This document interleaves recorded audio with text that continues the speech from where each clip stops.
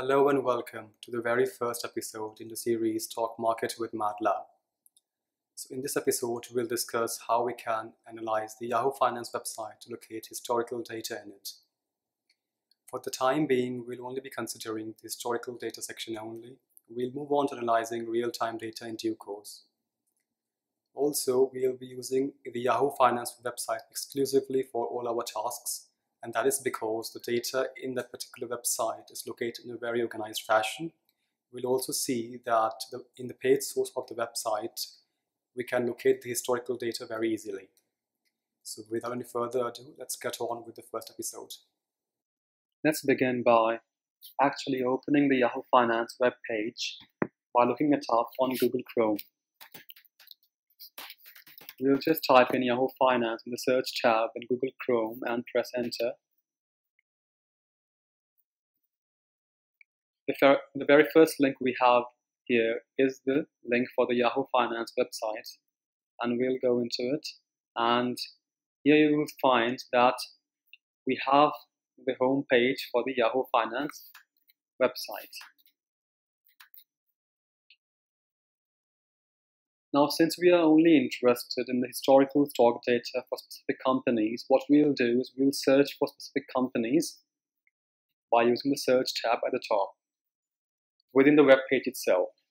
So what we'll do is we'll just type in any company that comes to our mind. So let's just type in Apple and the very first result we get is actually for the Apple stock company. And this AAPL is actually the stock symbol for Apple. So I'll just click on it and it should open a new web page containing data on Apple. So now a new web page is opened and we have the data for Apple in front of us. Our data actually is very varied. It starts from summary and it goes on until sustainability. Now the only data we are currently interested in is the historical data.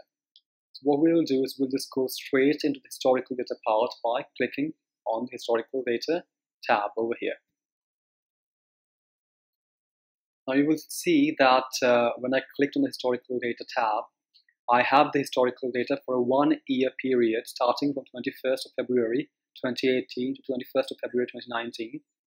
And the frequency of the data, that is the gapping between one or more data, is actually one day or daily. Now you will find that the URL at the top for this particular web page is in the form of in.finance.yahoo.com slash quote and then AAPL, which represents the stock company symbol that we have looked for. And after that, we have the term history, representing that we have searched the historical data for the company. And the remaining term is not very significant in the URL. Now, what we'll check is how the URL changes as we make changes within the web page.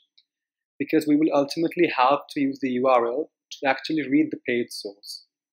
So let's just get on with it. So in the time period section, let's just make some few changes. I'll make the year 2017 into 2018 and I'll make the frequency over here to weekly and I'll apply the changes.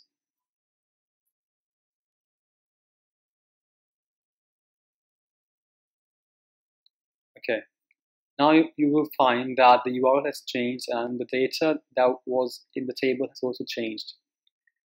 Now instead of having the data in a daily format, now we have the data in a weekly format. Okay.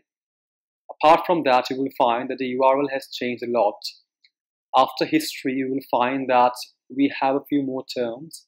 In particular, we have a term called period 1. Now, period 1 here refers to the starting date and after that we have very long number which is actually the starting date itself. So in this case this very long number represents 21st of February 2017 now uh, you all might be wondering why we have this particular long number instead of the time period that we chose. Now it is because in Yahoo Finance website uh, the URL actually the date is actually displayed in the Unix time format. Now, the Unix time format actually counts the number of seconds that have passed since the 1st of January 1970. So this long number is actually the number of seconds that have passed between the 1st of January 1970 and the 21st of February 2017. Similarly, this period 2 indicates that the, that next number is actually the end date in the time period that we have chosen. So this end date is again the date we chose and this long number represents 21st of February 2019 and this number is actually the date in the Unix time format again. After that we have two more terms called interval and frequency. Now for the purposes of this website they mean the same thing. Now frequency and interval here are equal to 1 WK or it's equal to 1 week. So no matter whatever frequency we choose amongst daily, weekly, and monthly, the values will remain the same between interval and frequency. So if we know the frequency, we can obviously guess the interval because they are the same thing. Now let, let's just change the frequency over here to monthly and see what happens. You will find that uh, the interval and frequency changes to 1 MO instead of 1 WK over here. So as you will see that the frequency and interval have changed to 1 MO instead of 1 WK. And here 1 MO represents one month. And the remaining bit remains the same.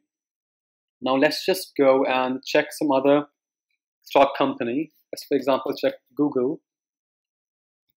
I'm opening Google and you will find that if I go into the historical data section and I change the time period over here, let's make it 2016 and let's make it weekly and apply the changes. Now you will see that uh, the interval and frequency, they remain 1 WK, whilst the periods have changed and also the symbol for the company has changed from AAPL to GOOGL, where GOOGL represents the symbol for the company Alphabet Inc. or Google. So what we learned uh, so far is that uh, the URL for the Yahoo Finance website changes depending upon the changes we make within the historical data tab. And uh, we will utilize the changes uh, in actually fetching some particular data for a particular stock company for a particular period and a particular frequency later in MATLAB. So keep the variations in mind, like the only things that vary are the stock symbol, the periods, the interval, and the frequency. So these are the things will vary in MATLAB and see whether or not we are able to fetch the data accordingly. So I guess I can end this episode here now and I'll let you all soak in what was discussed. We'll continue our discussion from here in the next episode, wherein we will analyze the page source for this web page. Till then, it's bye bye from me.